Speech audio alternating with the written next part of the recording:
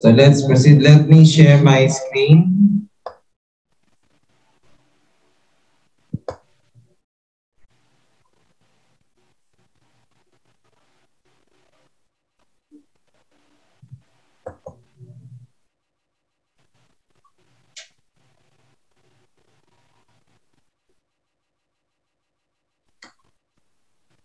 Let's proceed. Let's have our opening prayer.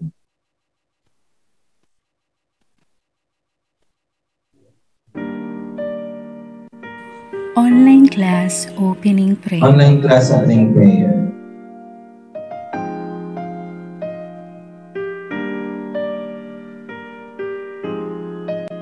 Let us put, Let us put ourselves in the holy presence of our Lord.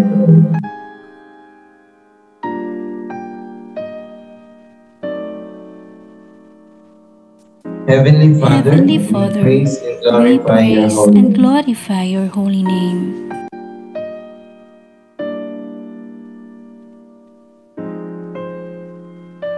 We thank you thank for you all the for all the blessings blessings you have bestowed bestowed upon us.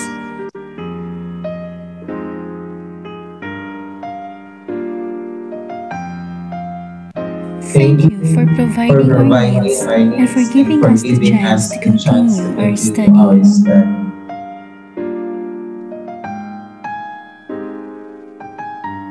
Bless our teachers, who teachers who inspires and inspire guide and guide us.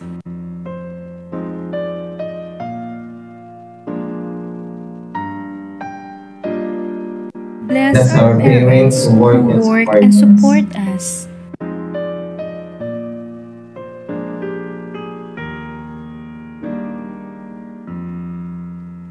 And bless And our bless our classmates, classmates and friends who care for us.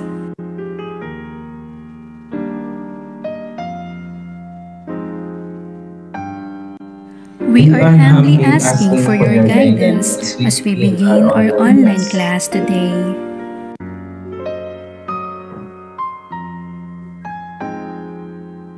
Send us your Send us Holy your Holy Spirit Spirit so we may understand and achieve the objectives of our lessons.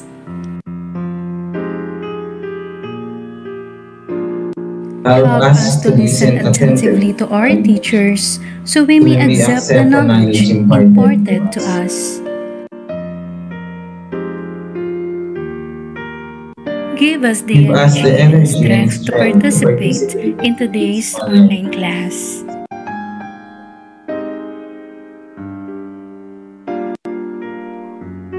Help us to be Help more us to be focused, more focused. so we may complete the activities and tasks for today.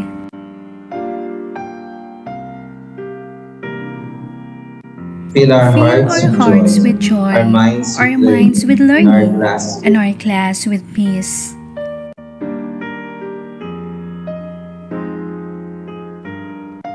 We We ask all of ask all this of through this Christ our through Lord, Christ our lives Lord, who lives and reigns forever forever and and ever. Amen.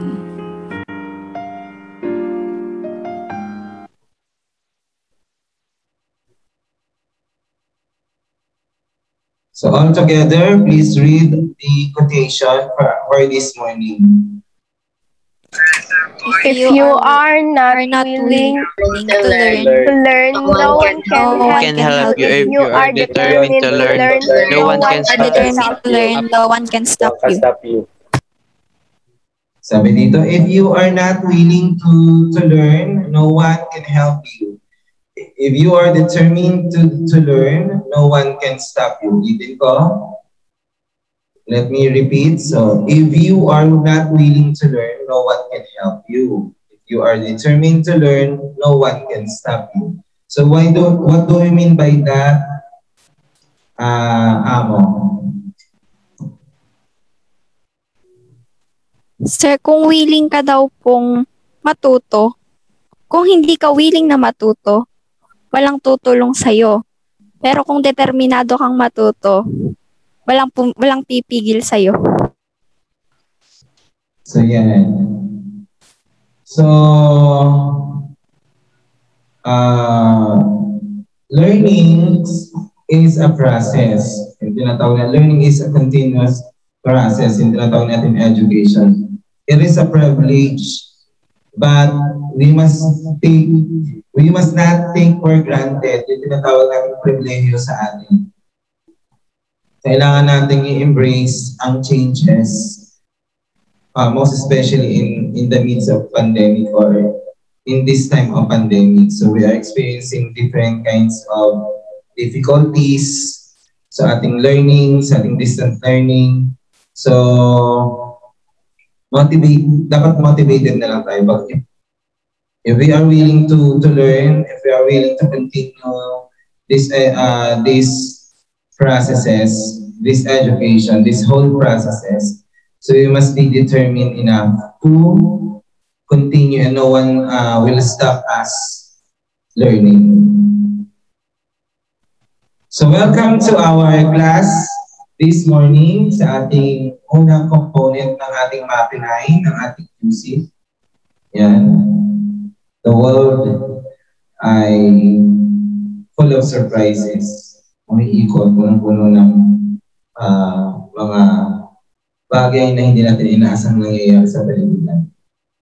So ang topic po natin ay music of the classical period, 1750 to 18 20. So, yan.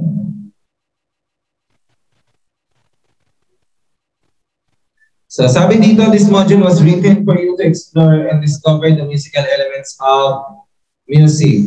At the end of these lessons, so you are all expected to be able to recognize musical elements of the given classical music and show appreciation of classical music through learnings. So yan yan. Nakalagay din dyan. Yan po ang ating objective for this morning. So, isa ko muna yung isa para marinig ko yung iba.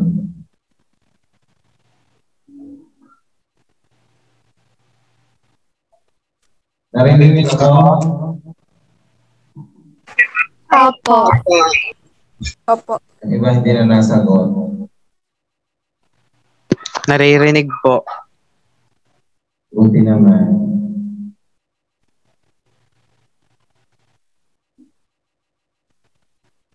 Yan, dahil naririnig ako. So let's proceed our class.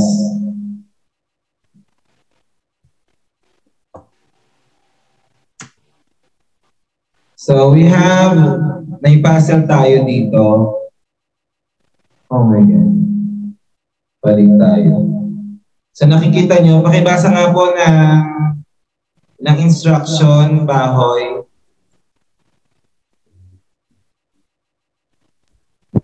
Sir, may nakatakip po. Sir, may, nataki, may nakatakip po na black. Buksan ko lang po yung word ko.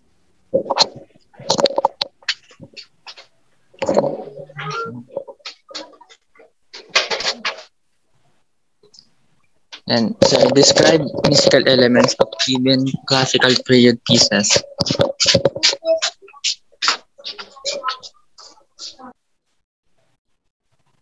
Yan, nakita nyo na? Wala pa. Sige, sasabihin na lang natin dito. Po. Ano ba ito? Sir, lalo lumalala yung black. Dadagdagan.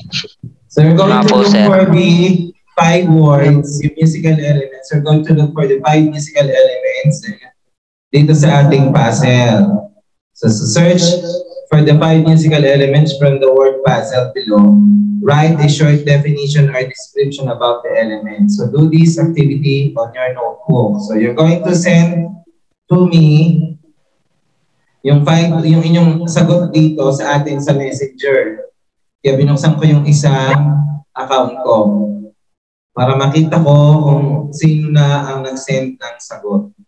I'm going to give Sir. you five, ten- five minutes to answer Sir, kanina ko pa po nasagutan yan, pero naka-soft copy po. Ililipat ko na lang po or i-screenshot ko at isa-send.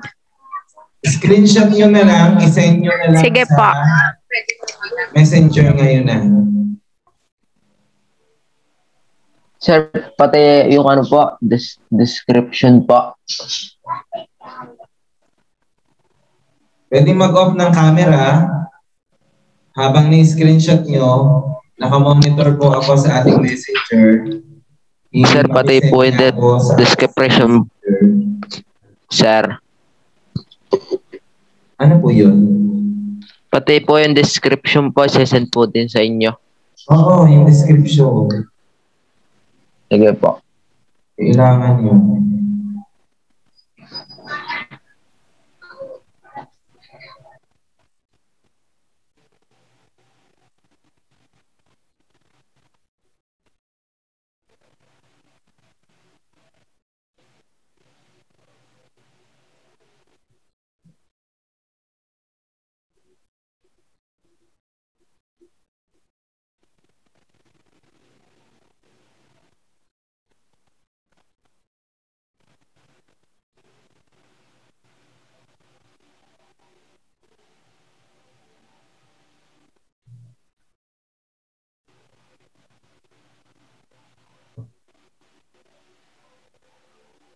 Okay na? Who wants to share their answer?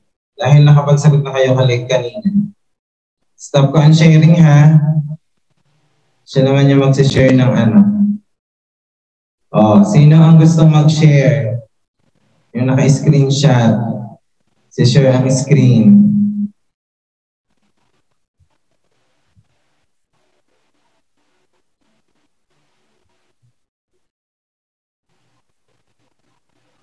Stephanie Drew.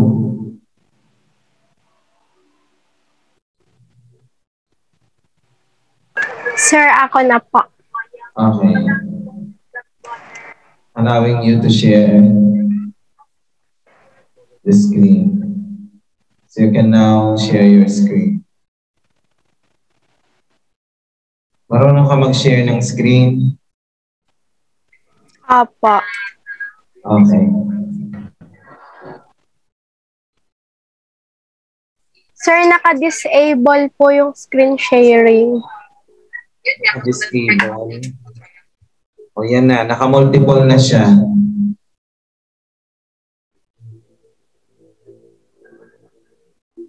Okay na, Stephanie? Yan. Stephanie Drew Binoy has started screen sharing. Ito po yung five words na related sa classical music na nakita ko doon sa activity. Ang first word po, wait lang po. Malakihan mo sa monitor. Yan.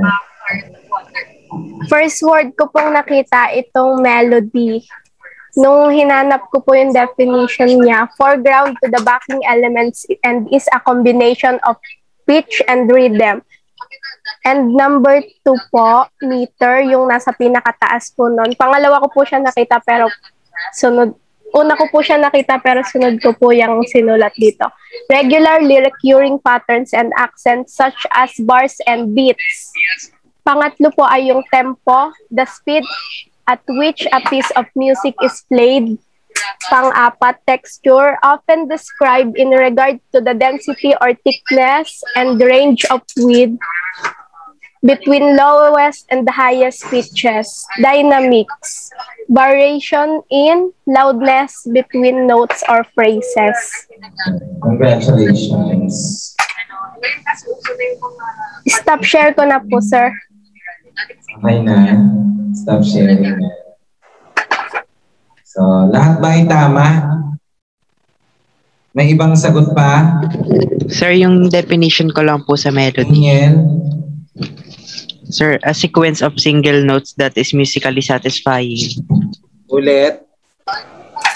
Sir, yung definition ko po sa melody ay a sequence of single notes that is musically satisfying po. Ano yun? Anong word? Melody po. Ah, okay. So, isa din lang naman yan. Sino naman ang gusto mag-share? Wala na? Oh, let's proceed. Sino, lahat ba'y nakakuha ng tamang sagot?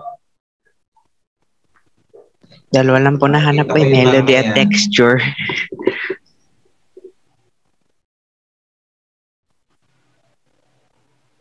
Oh, let's proceed.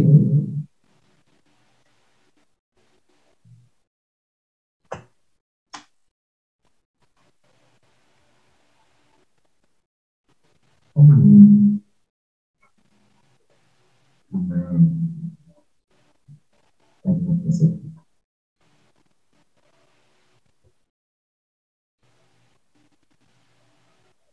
we have here another instruction sa susunod nating activities.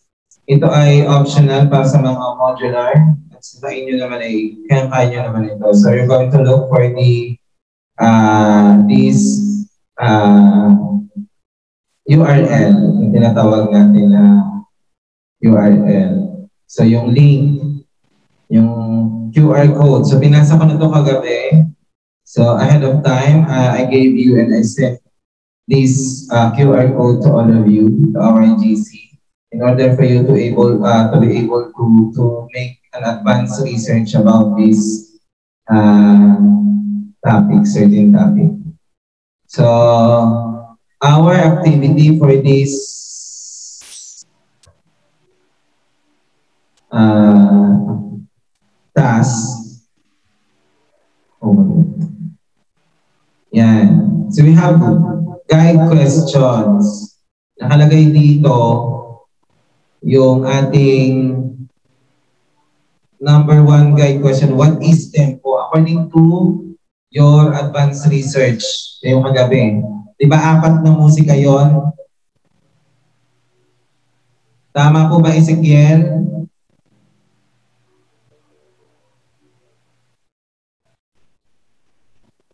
Nawala na si Ezekiel.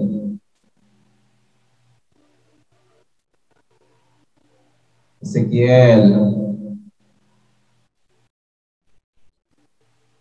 Nasa loob pa ba si Ezekiel?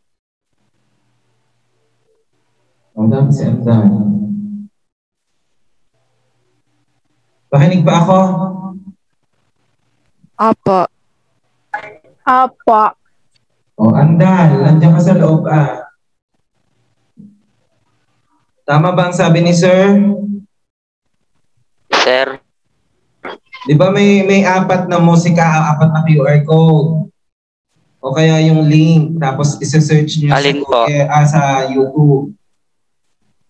Tapos pakikinggan niyo yon. So you're going to define those Up. four music or musical uh, piece or pieces, musical pieces. Kung ano ang tanong sa number sa guide questions natin. Number one is, what is tempo? So balikan po natin itong ating QR code. Sabi dito ay Mozart Piano Sonata number 16, C Ah, major ah. K 545 Barenboim. Yan. Yun yung letter A. Letter B, Lud- Ludwig van Beethoven, yung piano concerto number 5 in E flat major of 73 Emperor. Yung letter Z, Mozart, Symphony number 14 G minor K550, complete. And letter D, excerpt from Mozart, The Magic Flute. So, ang tanong dito ay, what is tempo ng apat na yun? May sagot na? Wala pa po kami. What Sir, wala dynamics pa po. were, were used? What is sir, wala pa pong sagot. Describe the melody. Is this music familiar to you? Where did you first hear it? So I'm going to call names. Ang sasagot, I'm going to stop sharing my screen. Uh, JP. Sir, O may sagot ka na doon? wala pa po. Ayan. Amo. Sir. Sheila Amo. Sir, ang tempo po ay, ay andante. O, share your screen. Show us Sir, ano lang Sa number... Sir, nakasulat lang po. tempo.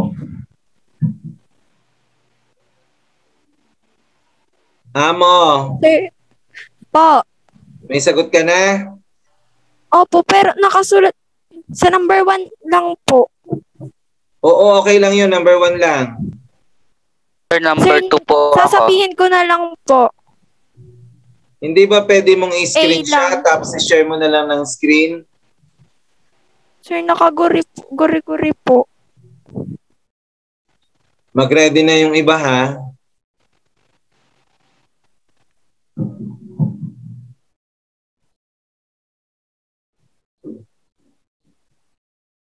Sino ang naka-ready sa number one? Ezekiel. Sir, letter B lang po. Yung naka-ready ko. Yan nga binigay ko na kagabi. Sino na? Katiel. Sir, wala pa po akong sagot po. Siya, balik tayo kay Amo. Sir, sa A lang po. Sa A. Sir, pwede pong sabihin na lang. Ah, wala. A, wala pang A to D? Wala pa po. A pa lang po. Hindi nyo pa yung nasasagutan lahat. Hindi pa po. Hindi pa po. Hindi pa po, sir. Tapos na doon. Hindi pa Hindi po. pa po. O, sa letter A. Ano ang A? Share your screen. A. Manda sa T. Sa T. O, Amo. Ano? Sir. Hindi kayo ready. Binigay ko na kagabi yan.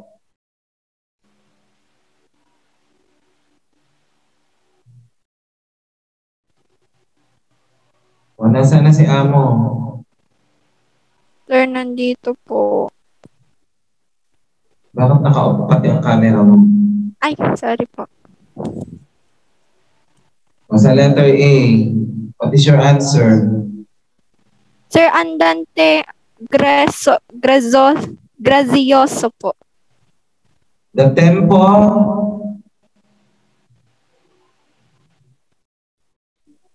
Paulit.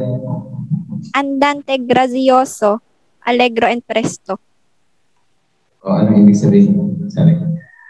Sa letter Sir, B, mabilis. wants to answer, mabilis daw. According to Am. Arsino, sa letter B. Sir, wala pa po akong sagot. Sir, ako na lang Sino yun? Sekiel, ang letter D. sa letter B po. Oo. Sir, adagio molto po. Sino ang nags- sino sasagot?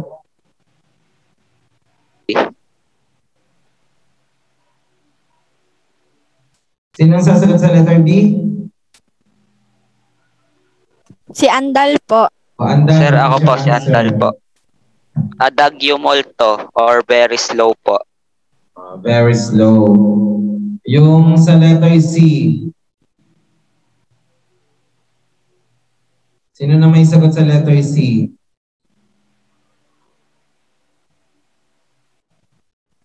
Ayan.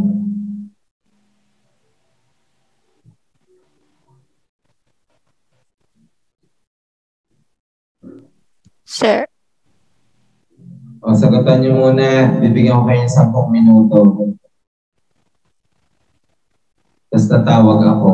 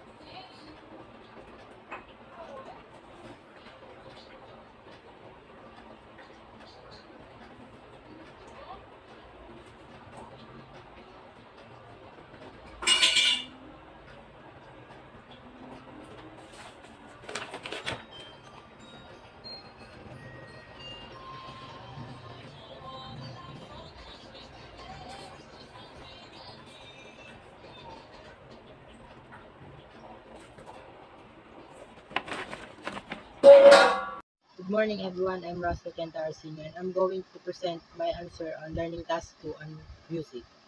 So the first one is the tempo of different music composition in classical period. The first one, the letter A, the tempo range overlap a lot. Adagio with 31 to 95 BPM. Letter B, it played at a tempo of 134 BPM. Letter C, molto allegro or very fast 4x4 time signature. D, played with a tempo of 137 BPM. The second one is the dy dynamic. Letter A, fast but coming in ears. Letter B, fast. Letter C, very fast but good to, good to hear. Letter D, fast. And the third one is texture. Letter A, completely homophonic. Letter B, a faster rondo. Letter C, homophonic textures. D, with the melody line being accompanied by homophonic texture. The fourth one, which is the last one, is the melody. Letter A, Piano Sonata number 6 includes two contrasting melodies in the composition. Letter B, the fourth in the final movement in the epic conclusion of Beethoven's Fifth Symphony, the last movement is in major of sonata form. Letter C, mainly melody-dominated homophonic use throughout. First and second violins play in octave at first also plays in whistle. Letter D, opens with an instrumental overture. The approximately 5 to 7 minutes overture that, uh, that you will hear is an arrangement of Mozart's Symphonic E major overture. Let's proceed to reflection. Three things I found out on the topic. Number one, I found out how tempo dynamics, texture, melody are different from each other. Number two, I found out of some of music composition of classical period music compositors. Number three, I found out how song of music of Beethoven different from other compositors. Two interesting things I found out. Number one, the music composition of compositors in classical period. Number two, how instrumental played in different music. One question I still have, how their music related to their lives. Thank you and that's all. This is my answer in guide question. What is tempo? A. Andante B. Andagio C. Allegro D. Andante. What dynamics were used? The Piano Sonata number 16 in C major K545 by Wolfgang Amadeus Mozart was described by Mozart in his own dramatic cat catalog as for beginner. B. The Piano Concerto number 5 in E major OP 73 known as the Emperor Concerto in English speaking countries is a concerto composed by Luigi van Beethoven for piano. C. Symphony number 40 in G minor K550 was written by Wolfgang Amadeus Mozart in 1788. D. Excerpt from Mozart movement range from piano to forte with some fortepiano and sforzando. What is a texture? A. Completely homo homophonic. B. A faster rondo. C. Homophonic texture. D. With the melody line being a homophonic texture. Describe the melody. Andan A. Andante. Moderately slow. B. Andagio. Very slow tempo. C. Allegro. Fast. D. Andante. Moderately slow.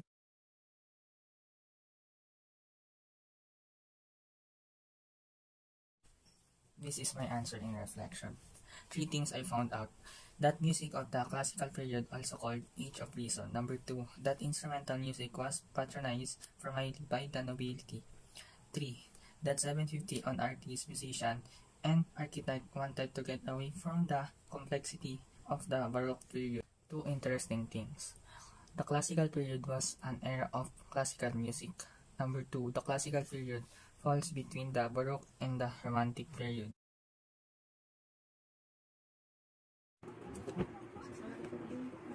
Kasi.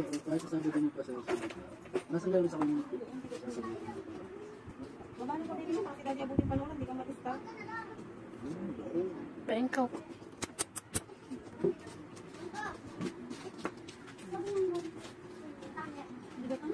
Pero nung nagpapaihi sa akin, kanina ihi daw ng pansang ko na nakagawa. Eh kami nagkakantuto at eh, nangangalabog kami. Hindi na umihi.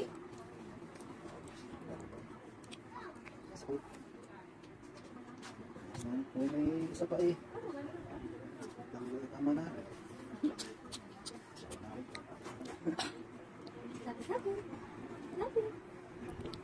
I-order ka kan. Chicken. Akan ang ating i-order mo sapatos mo. Sapatos mo. Bye. Ano ko pala? Daddy. Papa, ano pa tabi sa ano? Wala ka na. Ano? Ano mo ka? Bumagay mo. Ano mo ka? Bye na, bye. Labas ah. Ano ka lang? Ano ka ba? Umaga lang ako nanonood ang umaga. Luma.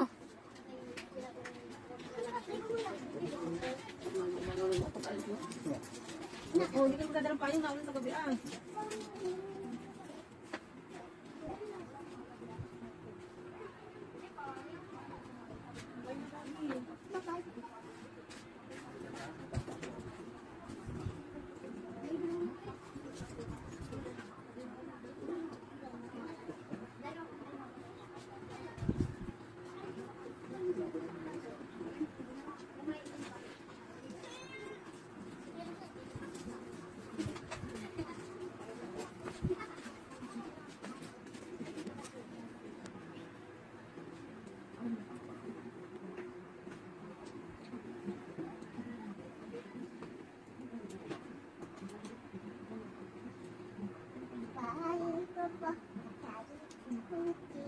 Pala mga magbibideo yung siyan yan? Masakit ang paa. oh.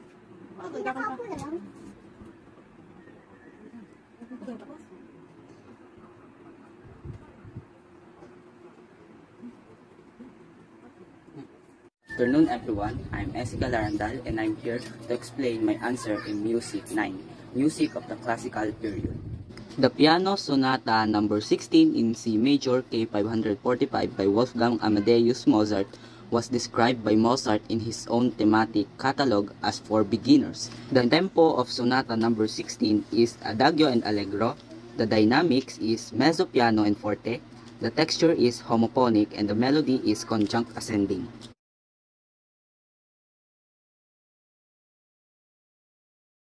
Emperor Concerto by Ludwig van Beethoven is known for its grandeur, bold melodies, and heroic spirits. The tempo of Emperor Concerto is allegro and largo, the dynamics is pianissimo and fortissimo, the texture is homophonic, the melody is conjunct ascending.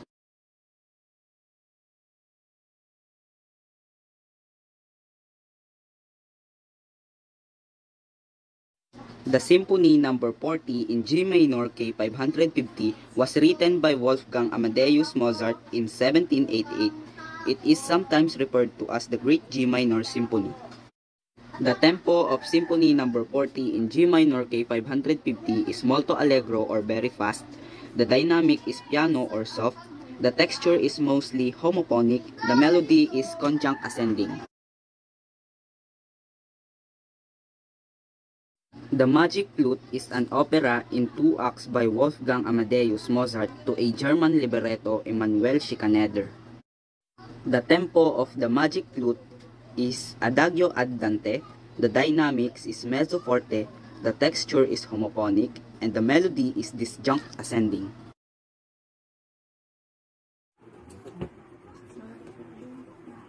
Kung din pa sa susunod nasa sa kanya, nasa gano'n. Baka ni pagiging yung mga kidadya po din panahon, hindi ka malista. Pengkaw.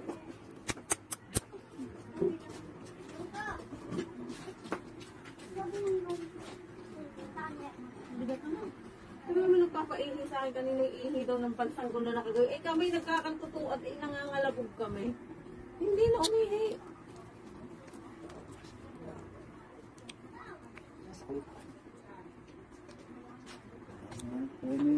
Vậy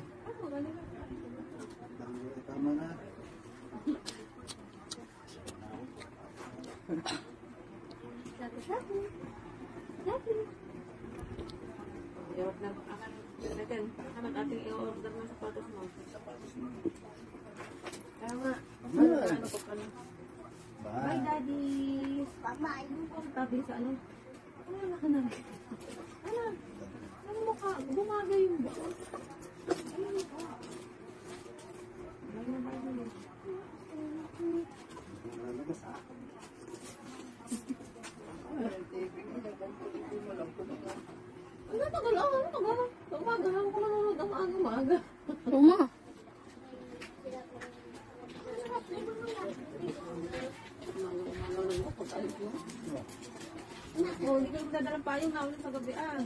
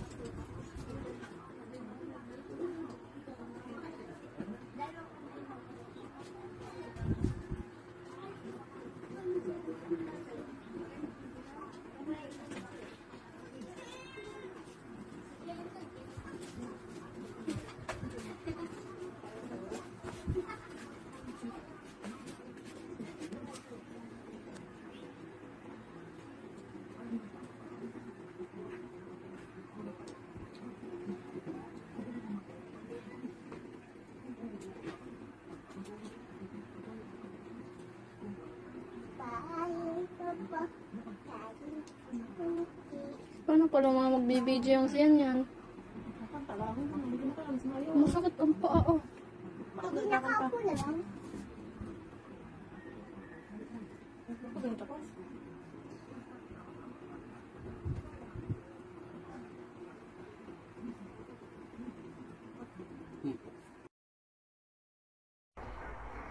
Hello, I'm Stephanie Drubinoya, and these are my answers for guide question in learning task in MAPE. The first question is, what is tempo? A. Allegro andante vivace. B. Allegro and largo. C. Allegro and adagio. D. Vivace. Number 2. What dynamics were used? A. Forte and piano. B. Fortissimo, mezzo forte, and piano. C. Mezzo forte and crescendo. D. Forte. Third question is what is the texture? A. Monophonic. B. Heterophony. C. Heterophony and D. Polyphony. Fourth question is describe the melody. Conjunct ascending because there were no lips, the short distance between notes. Letter B. Conjunct and disjunct ascending because there are parts with just short skips and parts with long pause or lips. Letter C. Conjunct and disjunct ascending because there are parts with just short skips and parts with long pause or lips, just the same with my answer in letter B. Letter D, conjunct ascending because there were no lips, just short distance between notes. Question number 5 Is this music familiar to you? Where did you first hear it?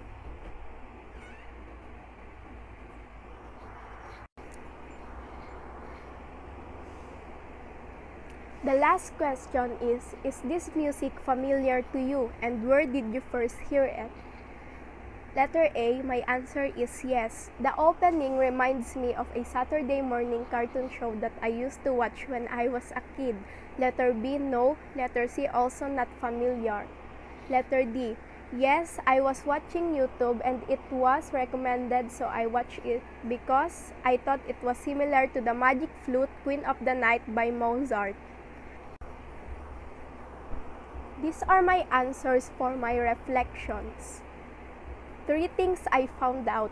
First, even a one piece of music contains different types of each of the elements in music. Second, classical musics like those may be old but they are good to listen and must be appreciated more in this generation. Third and last, each element in music have a lot of types and they have big differences.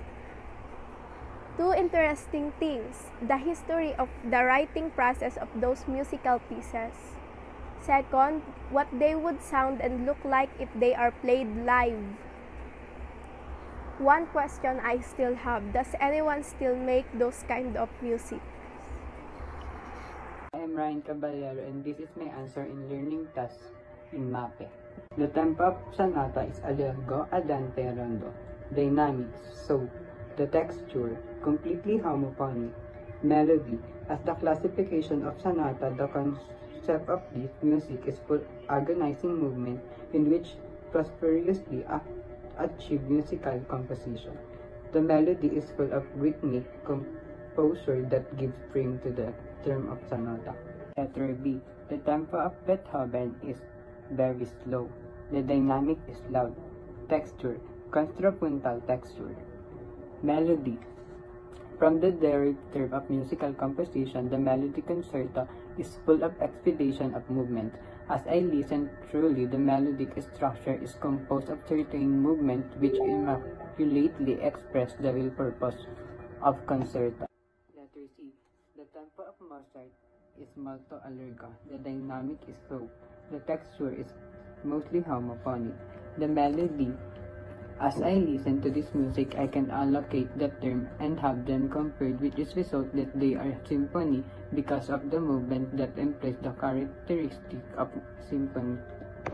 Letter C. The tempo is allegro, dynamic, loud. Texture, melody-dominated homophony. Melody. In this scenario, the music is full opera element in terms of melodic structure. Aside from musical composition, the frame of genre is full scenery, which builds up an act of theater. Opera has the melody sequence that creates action which is prosperously activated and well presented in the link provided. I am Ryan Caballero and this is my reflection. Three things I found out. I found out how entertaining classical musics are. I found out the different instruments that complete a music like dynamic, tempo, and melody. I found out the hidden beauty that lies beneath music. Two interesting things.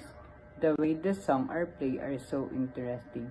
The beat and the song itself is so wonderful and unique it makes me so interested to it. One question I still have, I wonder what would happen to the music industry if those classical music doesn't exist. Number 1. Tempo.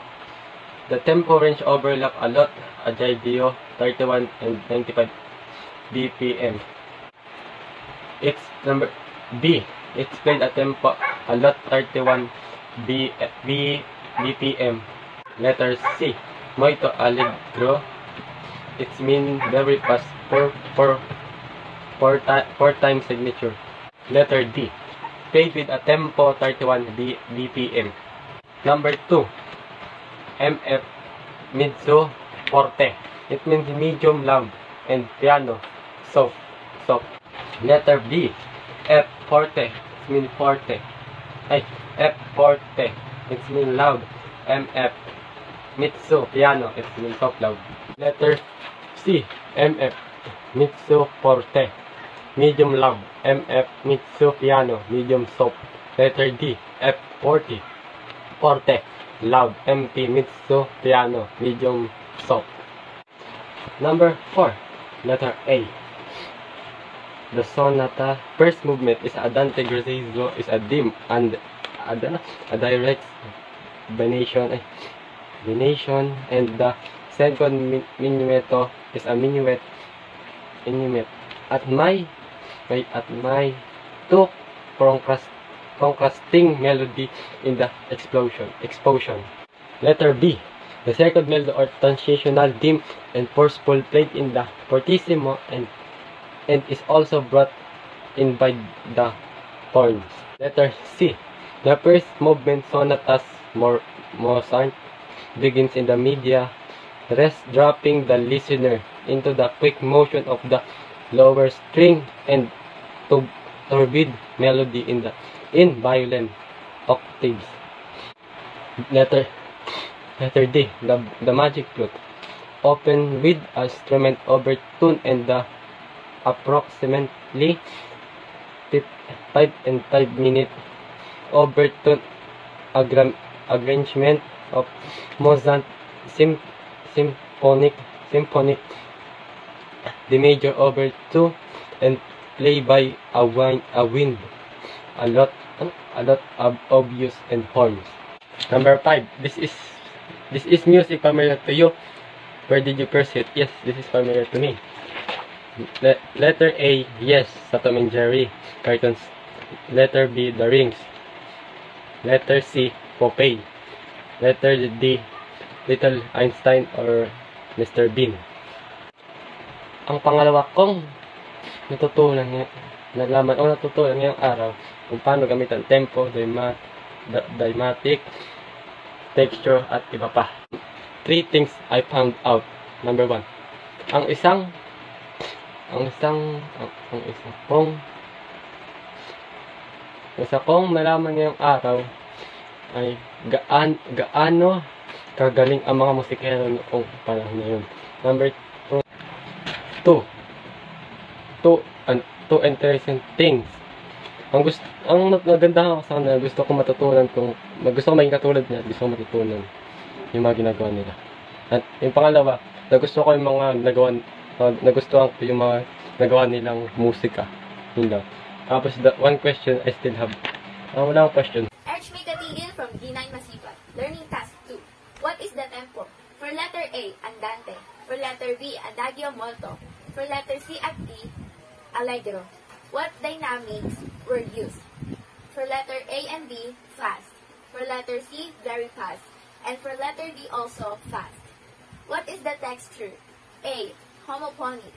Letter B and C, polyphonic. And letter D, homophonic. Describe the melody. For letter A, B, and C, conjunct. For letter D, disjunct.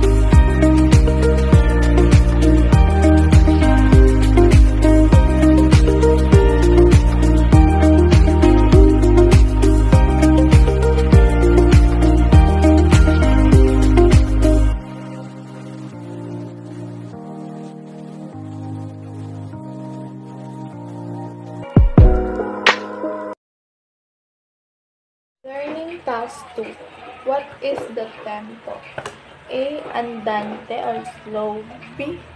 Allegro or moderately fast. And C. Also allegro, moderately fast. And D.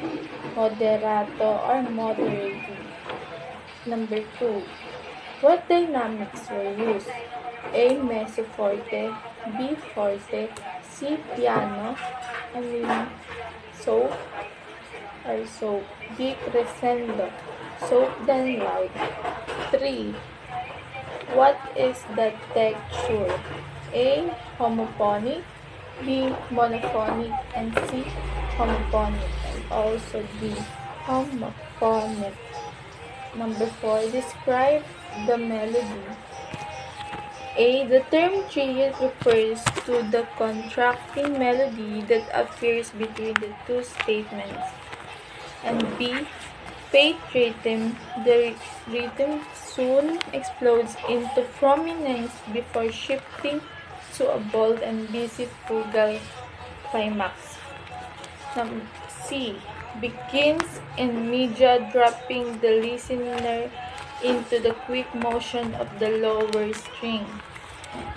D. The melody line being accompanied by the homophonic texture. And things I found out. Number one, tempo, the space of the given piece. Or number two, texture, is how the tempo melodic and harmonic. 3. Meter. It refers to the regularly recur recurring patterns and accents such as bars and beats. Two interesting things. The melody. And number 4. Number 2 is about the tempo. One question I still have.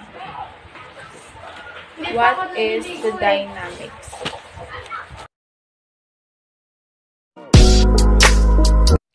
Hello everyone, I'm Cassie Denise Guzman from G9 Masipag and these are my answers in Learning Task 2.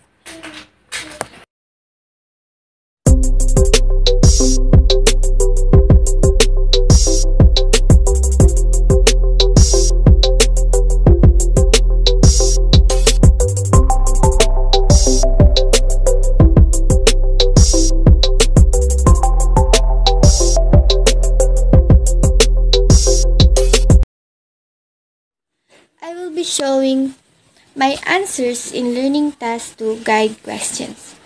What is tempo? Letter A, andante. Letter B, adagio. Letter C, allegro. And letter D, allegro also. What dynamics were used? Letter A, mezzo forte. Letter B, fortissimo. And letter C, forte. Letter D, fortissimo. What is the texture? Letter A, polyphonic.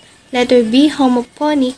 Letter C, monophonic. And letter B, heterophonic. Describe the melody. Letter A and B, melody has a particular pitch and radiation. Letter C, melody is very relaxing. And letter D, sound have a melody that catch our ears to listen even though it is very loud. And last, is this music familiar to you? Where did you first hear it? Letter A, B, C. I didn't hear it before, so no. And letter D, yes, I heard it before on TikTok. Next, the reflection. What are the three things that I found out? First, I found out that the common genre of the music of the classical period are concerto, opera, and sonata. I also found out that there are two new genres, which is the symphony and the strings quartet. I found out that the different period of the classical music are Renaissance, Baroque, early music, and etc. The two interesting things are the most popular solo instrument of the classical music was the piano. Then, the classical period itself lasted approximately 1775 to 1825. One question I still have. Who started or discovered the music of the classical period? The tempo of sonata is allegro, andante, rondo. Dynamics were used is loud, texture, completely homophonic. Melody. Melody as the classification of sonata that concept of this music is full of agonizing movements in which prosperously achieve musical composition. The melody is full of rhythmic composure that gives frame to term of sonata. The tempo of Ludwig van Beethoven. Ad adagio molto, dynamics were used, soft, texture, contrapuntal texture, melody. From the derived term of musical composition, the melody concerto is full of expedition of movements.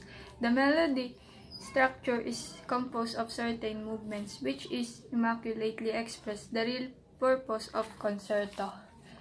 The tempo of Mozart, molto, the dynamics were used, soft, the texture, mostly homophonic. Melody is the rule of lengthy musical composition in which its melody form is especially derived from the orchestra.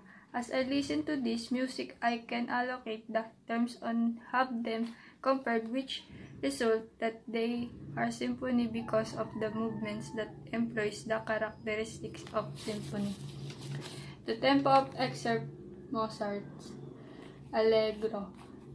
Dynamics were used, loud, the texture, melody-dominated homophony, melody. In this scenario, the music is full of opera elements in terms of its melodic. Aside from the musical composition, the frame of this genre is full of scenery and which builds up an act of theater. Opera has the melody sequence that creates action which is prosperously activated and well presented in the link provided. Three things that I found out. General classical music has its own something stylized and some music technique requirements. The most pleasant to hear this song of time to understand and know some of the basic theory of music. Number two, if there is the basis to listen to classical music really can improve their own artistic um, accomplishment and inner feelings. Good classical music as a literary classics to listen three consecutive months. Believe in your ability to understand and study. Efficiency or inner feelings and artistic accomplishment will rise a lot of space. Number three, you can expand your mind quiet a bit, understanding form, patience, connections, movement, communication. It develops your soul, your ear, and your mind. Two interesting things. Classical music is inspired by jazz. Number two, classical music too can be improvised. The last question is, I have no other question. Thank you.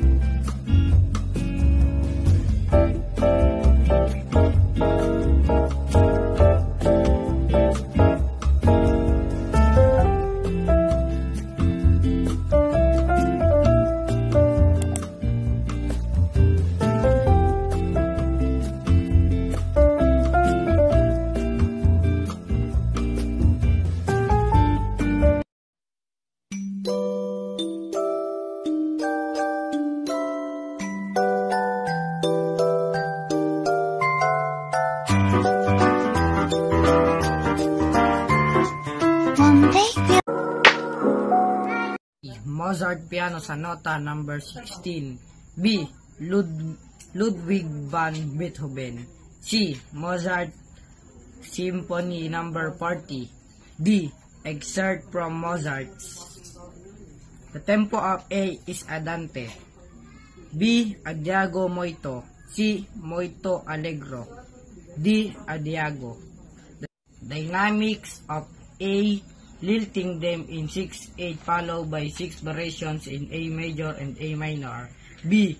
FF2 PP. C. PP berry soap. D. FP 2 SF and MF medium loud. 3. Texture of A is homophonic. B. Mostly imitative polyphony. C. Homophonic. D. Melody dominated homophony. Game 4. Melody of A. Hinueto. B. Sanota. C. Anacrosis. D. Major Overture. Okay na.